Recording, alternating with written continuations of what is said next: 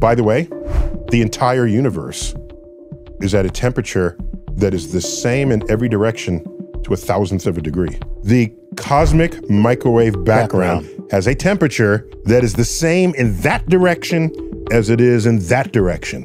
And we can't say that about the rooms we live in in our home. That is true. Because there's a vent over there, there's a window over here, and there's a pipe over there. Right. There is a standard height above the ground where the National Weather Service records its temperatures.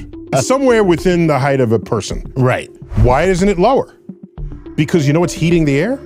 The sun is not heating the air. The sun is an intense source of visible light. The visible light is not absorbed by the atmosphere.